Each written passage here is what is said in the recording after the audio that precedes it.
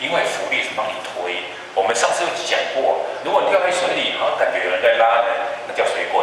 然后你的浮力呢是往上推的，所以你的重量一定比一百还要小。假设变六十克，那所以第一种求法，它的念法就是原来几克，后来放进去变轻了，那浮力多少？两个相减，浮力就代表四十，就叫原来的重量减掉一体中的重量。念法是这样念啊，我再猜一下，这种感觉小学生都会。因为你变轻了，它轻多少，就代表浮力多少，就这么简单。那第二种做法，你们看到啊，这里写错了哦，液面下体积乘以什么？液体密度。好，所以呢要液体密度哦，这里看一下。那这个公式是不是前面有推到很多？那照理来讲，你光这两个就已经很累很累了。然后还有个第三个，第三个什么东西？你有点奇怪，跟排水法有关系？有，我有印象吗？一个物体。假设我们的水在这里，我们东西丢进去，这是一个物体丢进去，对不对？物体丢进去，啊，水会怎么样？水会上升。假设这个时候上升的这一段水的体积是靠物体的体积去排的，所以如果这个体积有一百立方公分，代表这个物体的体积也就是一百立方公分。然后这个是用排水法的思考逻辑，但是仔细的讲法，我等一下会再讲。所以你看哦，原来浮力有三种算法。那出题人如果他高高难度题，他会把这些混在一起，搞到你很疲劳。先跟你讲一下哦。好，来开始。第一种求法，看到没有？原本几公克？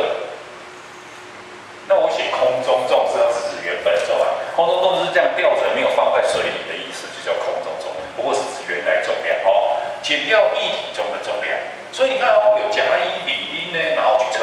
那这时候你会发现问题，甲看到一个东西挂在这里一百个，那我想问你一个问题，有假图可以告诉我们，自己写一个一有假，字写小一点哦，你们旁边空白是不是看起来很多位置？对？是要写很多字，要写很多字哦，所以你从假图得这个字是图哦，真的很丑，我也知道，你有懒得写，有甲图得知这个物体质量重量多少？是不是一百克？那你也知道，在地球高处，重量一百克，质量当然就一百克。哦，就是告诉你甲这个动作。然后题目问你一件事情：末路一半在哪里是末路一半？这里啊，甲到乙，看到没有？甲乙末路一半，那所以你可以理解哦。第二第一题怎么算？第一题有你要写字哦，真的要有写字哦。有甲乙得。浮力等于多少？原来的重量减掉你水中的重量，所以你放在水里面八十克，你本来一百，后来变八十，所以浮力呢一百减八十，所以除以减起来就二十克。有没有答案的时刻？有，答案就选 A，超简单的。然后接下来的麻烦点是，第二题你先跳过，我们要先做第三题。那第三题呢，一样继续选，我把这里擦掉。我把这里擦掉喽。所以这几个小细节你已经知道了哦。第三题，好，我们先跳第三题。那放在盐水中浮力多少？你看到没有？有哪一个图跟哪一个图可以知道？甲跟谁？丁。有甲丁可以得到什么感觉？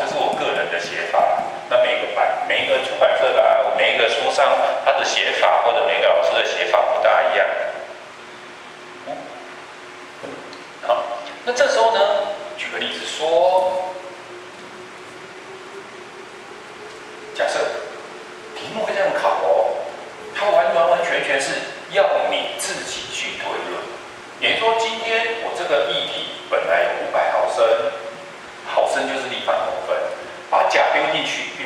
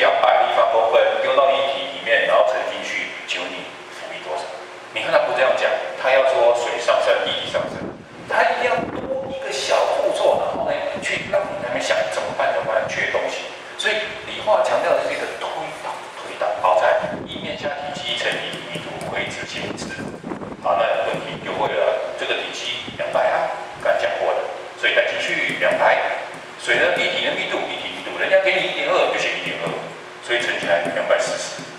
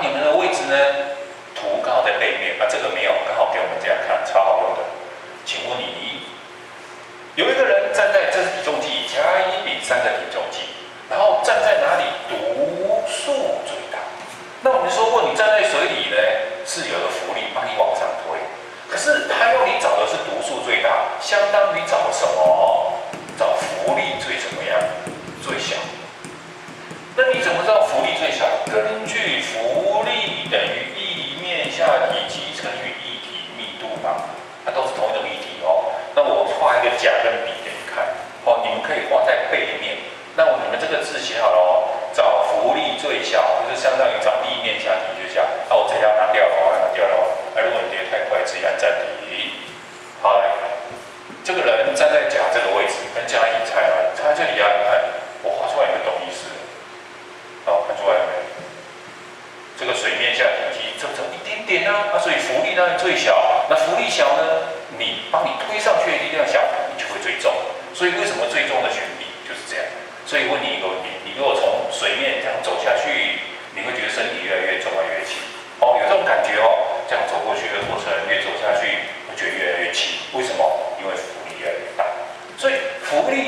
全跟地面下体积有关系，这是第一个基本的概念。好了，那这时候呢，来回到刚刚这一题的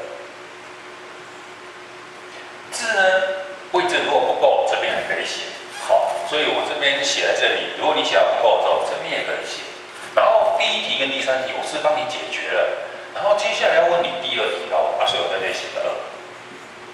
然后要找物体的密度，哎，那难就难在你要从哪两个图里面去找答案呢？因为我们都知道水的密度多少一，所以我们一定要从水去下手。所以我们第二题，请你有加 B 得得什么？第一浮力等于多少？看加 B，全部都在水面下，从一百变六十，所以当然就一百减六十。等于四十克，这你一定会。但是我发现一个问题，我们要配合刚刚的第二个意面下体积乘一体密度。而这四十呢，除了用一百减六十，还有另外一种做法，意面下体积。意面下在这里啊。那我发现这个翼面下体积就是我物体的体积，因为它全部都在水面下，乘以水的密度一。所以你看这个动作怎么来的？你如何从这里跳这里？这才叫难呢。所以很多人会卡在这里地方，就是说，你只告诉我浮力是四十，那为什么我可以突然找出你的什么物体体积？原来是要用翼面下体积乘一体密度，又等于浮力耶。所以这个公式是我用念哦，我就不再写哦，再念一次哦。它利用那下面的公式，浮力等于翼面下体积乘一体密度。那所以带进去浮力四十，那翼面下又刚好是它全部的体积，那水的密度，就出来了，四十。单位要立方公分，好，那题目很奸诈，它不是考我密度吗？可是我刚刚不是有一个第一个图，从甲图就可以知道木头的质量，来我写个物体哈，不是不是木头，好，这个物体的质量多少？刚刚讲过，一百克重就代表质量一百克，然后物体的体积四十，那密度不就出来了？质量除以体积，所以就把它带进去，一百除以四。哦，我只是写成这样，你们应该可以自己写，所以才除起来等于二点五，没错吧？所以答案二点五。好，我现在这里二点五哦，把电下画上掉。所以你会发现，原来浮力的高高难度题就是这样，只要你转弯。这里讲很慢，目的是想跟你讲说，难就是难在这些点，否则它不会那么考那么轻松的。好了，那接下来你把你所有的条件找出来。我有物体的体积，然后呢，我要利用物体的体积去找第十题，盐水密度多少？这样了解哦？那我这一段要擦掉哦，你们一直写写不下去，整理下面也可以写。真的，我会想很慢，啊，你们自己小心。只能一直提醒你啊，那段考很重要，会考比较重要。好，盐水密度，这时候我发现一个问题。有甲冰，第四题哈，第四题有甲冰得什么值？是 跟刚刚一样哎。第一，浮力等于多少？从一百变五十，一百减五十，所以浮力五十，好，你可以接受。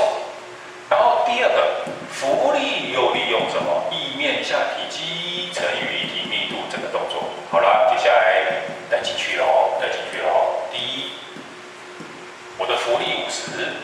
地面下体积就是我刚刚物体的体积，我刚才不是有算过物体的体积多少？四十。然后今天这个盐水的密度不知道，所以我写个第一盐就是盐水密度，啊，这样就出来。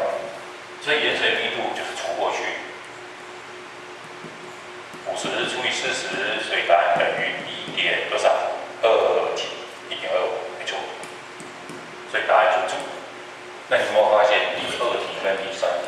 才是你要额外去懂的，所以光讲这个地方，你会发现我讲超超超超超慢，原因就在这里。好了，第一、第二，你已经习惯了原来的重量减一体重，一体重重，还有地面下体积乘以一体密度。点，我还是讲一件事？课本都把你当天才，他会直接告诉你答案。浮力又等于物体放入液体中，然后呢，它是会排水排液体，但是呢，它很诡异的是排开的液体重，为什么？因为我们要的是力哦，那重量就是力，力就是重量，听不懂对不对？所以我们还是习惯画图来解释，会比较好懂。来问你喽，假设我这次题目给的条件是。假设体积是两百立方公分，体积给你了，丢进去之后，后来根据我们的排水法，麻烦你画一条曲线对过来，对过来，代表原来的液体在这里对，然后加沉，全部沉下去，可以了，可以了。那这时候问题就出现了，你觉得水会上升多少？液体会上升多少？这时候请在这里写字，这一句红色的这个东西，它就是所谓的。排开的液体，可是我们前面不是明明讲过吗？我们是靠什么在排开液体的？是体积诶。所以理论上我给你讲的体积两百立方公分，只能告诉人家这一段液体的排开的液体体积就是两百立方公分。所以是红色的这一段两百立方公分哦，但是我为什么说浮力来排开的液体啊？慢慢来，问你不用不用担心，不用担心。那液体体积是两百立方公分，那请问你继续写哦。那排开的液体质量体积质量质量怎样？排开的液体质量多少？我字写的很慢，啊，你们的位置够大，你们位置还蛮大的哦。根据 n 等于 v_d 带进来，所以你看排开了两百，然后液体密度一点二，刚好就是几克？两百四十克。可是你也知道一个问题，在地球上质量两百克，就代表你的排开液体重量两百四十克重。好，这第一个动作我已经写到这里，好，写到这里哦，可以哦，可以哦，可以哦。那你用我说算这个了，好，我把这里擦掉了，那你们自己写。写完之后，待会再去对应，你才可以知道为什么。好，排开的液体体积重，哎，对，排开的液体的重量已经出来了。但是我要问你一个问题哦，今天水是装好装这里，如果今天液体是装满满的，你觉得排开是怎么排？就会叫流出来哦。所以有时候他故意给你装满满的，然后让你去称流出来的重量是多少，他会做这种题型。好，等一下你就会看到。好，我把这里擦掉。我已经确定排开的重量，液体重量有两百四十克。那我问你哦，你按照我们第二种做法，浮力怎么算的？液面下体积乘以液体密度。所以把它带进去。啊，这个甲体积两百，通通在水面下，所以它的体积有两百立方公分。哦，甲的体积两百，掉在液面下，所以体积两百，液体密度一点二。所以这样乘起来，刚好是两百四十克。那你发现感觉，为什么刚刚那么辛苦在算排开的液体重？你发现一件事情，这个浮力跟刚刚排开的液体重不就是相等？所以它可以用这种做法，但是题目不会这样子考你哦，它很奸诈哦。来看一下这一题，他说了，有一个东西水刚好满满的，这里面是水，对不对？所以如果东西丢进去，水就流出，啊，流出来就是我们排开的液体，哦。但是他说排出多少水？把木头丢进去，排出的水有十八立方公分。但是这次运气好，排开的水十八立方公分，你可以写下来哦，就写在这里。水的密度多少？一，怎么样自己背对，代表排开的液体重多少？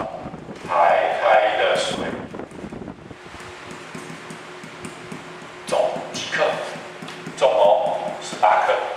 这个你应该可以理解，我就不多讲了哦。因为水的密度，所以你看第一题，如果你不懂说原来浮力还可以等于排开的液体重，你就傻乎乎的利用什么液面下体积乘液体密度差的，液面下体积多少？知不知道？不知道。这个完全他不给你，他要求你要用排开的液体重去得到浮力。所以浮力呢，答案就是失败。所以光这一题你就觉得哦，好蛮蛮难的。那第二题呢？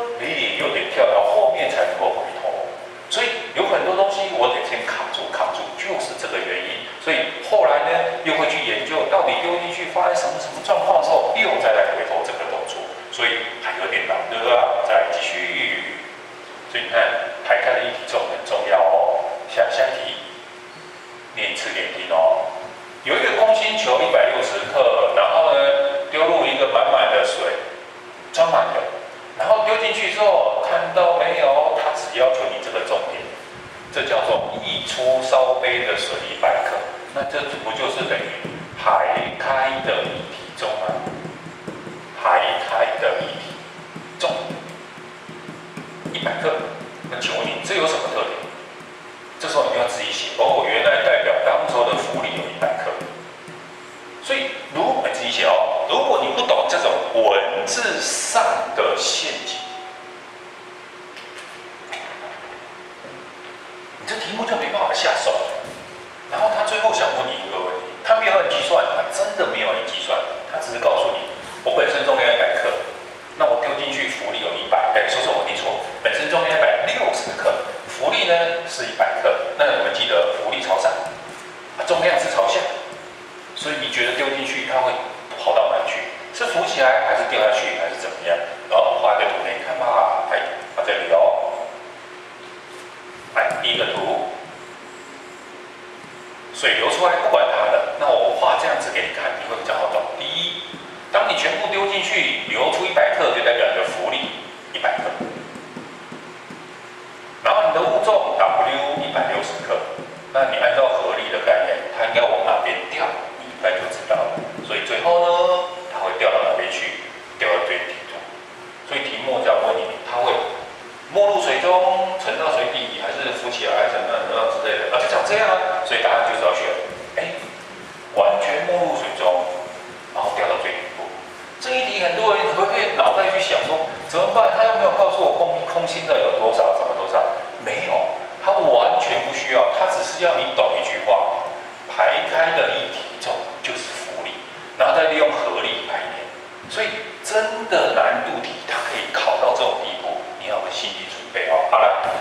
三种浮力求法，但是你应该知道我跳了很多题，对不对？那必须要在下次来讲说，原来一体、物体、物体丢入一体会有三种现象，那个三种现象我们就下次再讲哦。好，先到这里。